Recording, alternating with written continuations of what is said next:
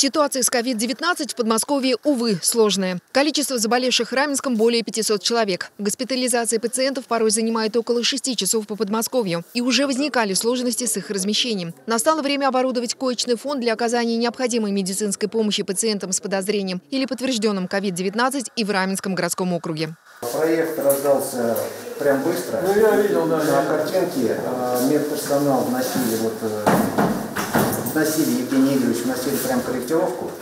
Э, Строители бывали случаи, когда это все менялось даже. По словам Евгения Боровкова, исполняющего обязанности главного врача, ремонт в больнице подходит к завершению. Проложены кислородные магистрали, осталось провести клининг и принять мебель. Ее поставка ожидается со дня на день, так же, как и специального оборудования. Э, Все необходимое оборудование, значит, э, ко- которое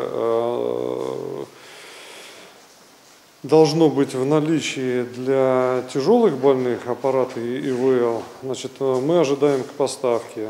Что касается так называемой биологической безопасности, то здание будет функционировать только для пациентов, зараженных ковидной инфекцией. Получается, врачи заходят там, здесь снимают одежду, значит, э, тут одеваются в средства индивидуальной защиты, э, и там поставили душ на всякий пожарный, если вдруг кто-то захочет. И э, вот здесь две двери отсечены с прослойкой, там дальше выходит в грязную зону. Здесь предусмотрена э, выписка пациентов через шлюз.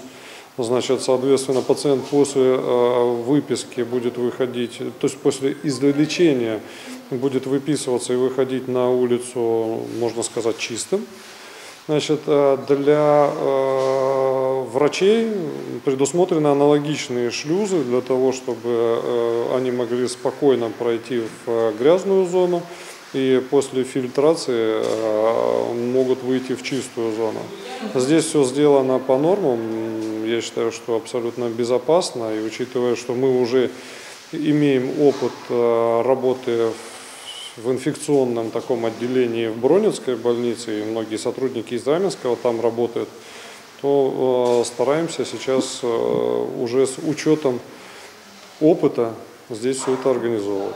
120 коек с кислородом будут установлены в переоборудованном здании терапевтического корпуса ЦРБ. Пациентов будут принимать через специальный полностью оборудованный отдельный безопасный подъезд к корпусу. Предусмотрены отдельные места для дезинфекции машин и одежды. Костюмы защитные. Значит, и после обработки уходят э, туда для того, чтобы принять душ. Одежда это берет, э, утилизируется? Да, одежда утилизируется. Это одноразовые костюмы, здесь будут стоять баки, это, да, это отходы класса В, они э, будут все погружены в хлорсодержащие э, препараты. Внутри оборудованы шлюзы для дезинфекции или безопасного перехода врачей и пациентов из так называемой грязной зоны в чистую. Только обработка прошла, основа открывается и дальше. А второй компьютерный томограф, он используется только для чистого зоны, для корпуса.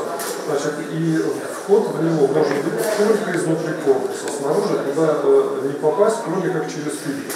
Для удобства врачей будет доставлена бытовая техника. Стоял вопрос о приобретении двух стиральных машин, что ли, да, и на Сегодня должны доставить стиральные машины и сушильные машины. Сушильные стиральные машины тоже, да, и мы на скорую помощь доставили. И сюда тоже. Да, это, это правда большая помощь. Мы э, как, э, уже по опыту, да, когда уже там ввязались в бой, увидели, что э, сейчас лето, да, вот, э, выходишь, Ну, понятно. и у тебя полный, э, весь костюм внутри мокрый, и все в ботинках это мокрое. И э, для того, чтобы постирать быстро и снова повесить и дальше использовать. При переоборудовании помещений подрядчики прислушивались к мнению врачей. Мы уже неоднократно слышали о том, что медицинский персонал сегодня называют «герой нашего времени». Здесь э, обсерватор будет э, совсем другой. То есть здесь будут э, все сотрудники, которые придут, э, с них возьмут мазки, их проверят, чтобы они э, были без этой инфекции. Значит, и дальше они будут э, жить отдельно, приезжать э, сюда отдельно и не пересекаться с э, сотрудниками, которые работают и ездят, и ездят домой. То есть принцип именно такой. Да, терпение, терпение. В конечном итоге нас этому учили и готовили, поэтому сейчас я так думаю, что все готовы И нужно сейчас весь э, свой запас знаний, э, сил, опыта, я не знаю, энергии, жизнелюбия. То есть можно перечислять доброты, человеколюбия, все потратить на борьбу э, с этой инфекцией и на помощь нашим больным. Открытие медицинского учреждения планируется после праздников. Ольга Скрябина, Елена Цыганова, Андрей Пластунов, Антон Карташов для программы «Городские вести».